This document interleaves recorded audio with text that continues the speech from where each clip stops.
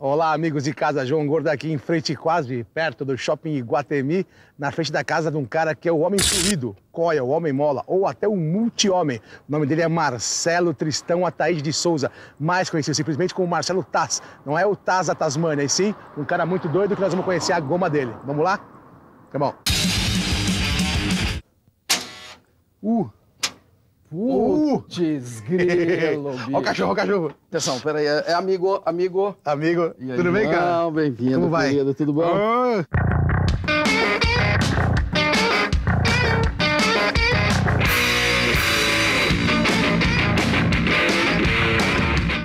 Olá, amigos de casa, aqui no Gordo do Vídeo, na casa de Marcelo Taz. Muito bem recebido, obrigado, senhor Marcelo. Seja sempre muito bem-vindo. Cara, como é que tá a sua vida agora depois do sucesso do CQC? Que é um programa de sucesso, velho. É. Como tá? Como, o que aconteceu? O que, que você fazia antes?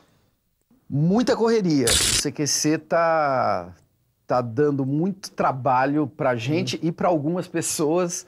E, enfim, tô recebendo cada telefonema que eu não recebia antes, assim, sabe? É, Marcelo, tá assim, presidência da República, pode falar? Ou perfeitamente? É. Tem uns meninos aqui do seu programa, o que, que vocês querem com o presidente? Aí, ó, tá, queremos. queremos tudo. Cuidado pra não ser grampeado, hein, velho? Vai grampear. Mas estou gostando muito, está sendo uma experiência divertida, trabalhar com uma equipe muito, muito talentosa e, enfim, diversão. Mas agora, uma matéria histórica deste programa, eu não tô brincando.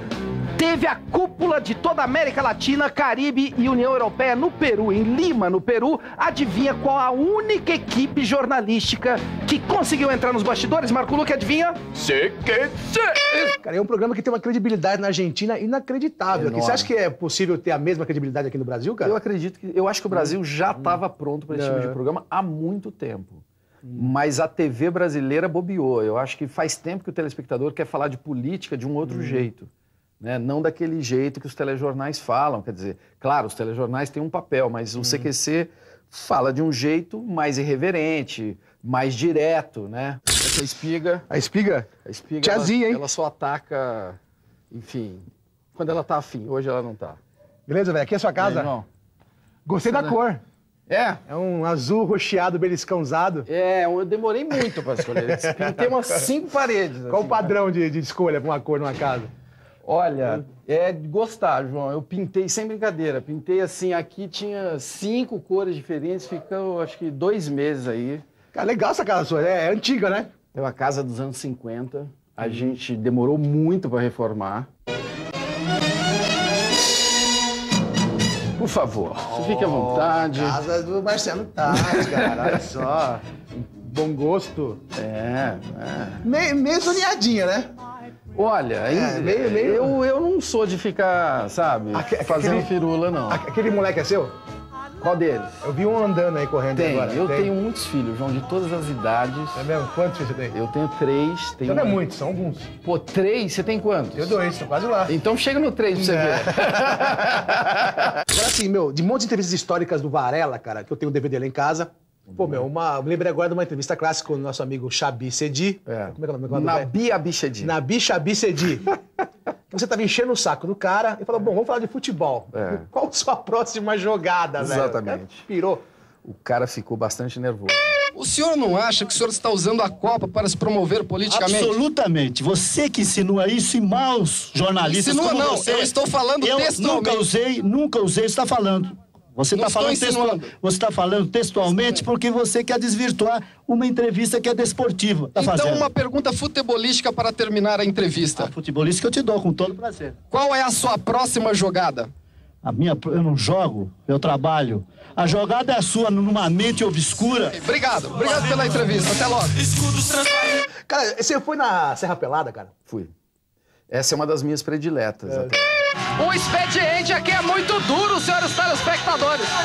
Não é brincadeira, não.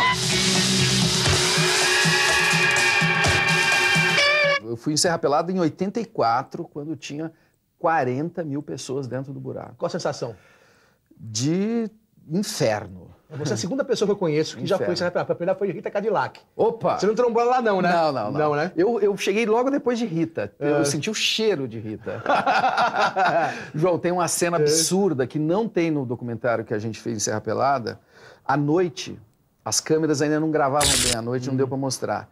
Os caras ficam num campo de futebol que é transformado num cinema. É, 30 mil homens vendo um filme. é, Uma noite é karatê e na outra noite é sacanagem. É. Outra noite é karatê, outra noite é sacanagem. 30 mil homens. Eu vi um negócio desse parecido, sabe aonde? Num shopping center de São João do Meriti. Olha aí. Na praça de alimentação, mais ou menos parecido, cara. Ah. 30 mil pessoas gritando e com- comendo e berrando. Eu fiquei assustado, parecia um estádio, parecia um Maracanã. Shopping center da Baixada Fluminense, cara. Eu fui lá comer, eu falei, eu não vou comer aqui não, velho. Caras vão me comer aí, cara. É Pelo amor de Deus, cara. assustador, né? Assustador, cara. É assustador. É. Eu vou te mostrar o. Esses dias eu tava... tava eh, O que chegou pra você aqui? Chegou alguma coisa pra você. Isso daqui. Ah, é, eu tô indo pra Flip. Isso daqui é livro. Ah, tá. Você tava cheirando porque você achava que era o quê? Cocaína. Um tablete, né? Assim. Coca-Cola. Pô, mas é muito, não é não, João? Pô, é dois quilos, cara. Pô, que ela. Não é livro, eu tô indo lá pra Você é um, é um contrabandista de livros, cara. É, Você não, fica é. mandando cultura e recebendo cultura. Exatamente. Gordo visita alegremente, sábado à tarde, sorridente. Sabadão. Sabadão, tranquilíssimo, cara. Depois mando uma pipoca com café, classe A. Cara, engenharia na Poli. Lembre-se dessa época. engenharia na Poli. Engenharia na Poli. Olha, eu, você só escolhia três coisas naquela época: engenheiro, médico ou advogado. Era com seu pai, engenheiro eletrônico, né? É. Você ser quando crescer? Engenheiro eletrônico.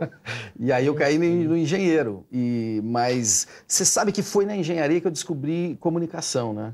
Eu virei editor de um jornal anarquista de humor que tinha lá, no segundo ano já, É. que era uma coisa raríssima. Segundo ano você ainda estava tomando tapa na cabeça, né? É. E, e aí aquilo virou uma profissão para mim. Esse celular, cara. Puta, eu tinha um desse Motorola, velho. Olha só, cara. Esse é o. É, a bateria durava meia hora, cara. Durava duas horas, É. você passava, você, você botava a noite inteira carregando. É, e andava com as baterias tudo no bolso Olha, enfiada. olha o tamanho dessa bateria. cara. Não, cara, eu, Olha aqui. Cara, eu, eu lembro que eu comprei um desse, eu tinha vergonha de sacar ele na, assim, ó, na rua, porque o nego achava que eu era playboy, velho. Como uma coisa... Era uma- coisa é, de gente chique. né? É, nossa, que tosco, Mas cara. é uma arma, né, esse daqui. Pô, tijolada, Eu cara. deixei aqui pra gente não esquecer como a gente já foi ridículo. Como já fomos ridículos metido a besta. Cara que fala que uma festa dos anos 80 que mudou sua vida, cara. Que raio de festa foi essa? É, Lira Paulistana. Você pegou o Lira? Lógico, toquei no Lira. O Lira é um porãozinho ali na Benedito Calixto. É. E aí tava, eu tava no lança... Era um livro do Glauco. Glauco Matoso? O- Não, o Glauco cartunista. Ah, Glauco cartunista. Tava lançando um, li- um livrinho de cartoon dele. E eu tô lá naquele ambiente enfumaçado, Hum. né? Aquela noite que não termina e tal. E vi uma televisão. Eu, a- a- naquela época você não via televisão fora de casa, Hum. né?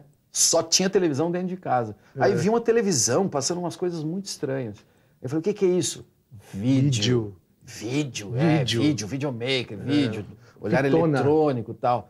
Aí conheci os caras nessa festa, Hum. né, do- no Lira, e nunca mais larguei os caras. A gente, eles estavam começando a montar essa produtora, Olhar Eletrônico, foi lá, me apaixonei pela ilha de edição, foi a coisa mais louca que eu Hum. já tinha visto, assim. E a televisão, imagina, em 83 era muito mais careta do que hoje. Pô, cara, em 83, cara, era, era- era de ditadura Era né, cara? quadradona, a Quadra- televisão era quadradona, bem cara. quadrada e a gente começou a fazer reportagem mesmo, né? Hum. E entrevistar pessoas que a gente achava É. que não iam nem nos reconhecer como repórteres e tal.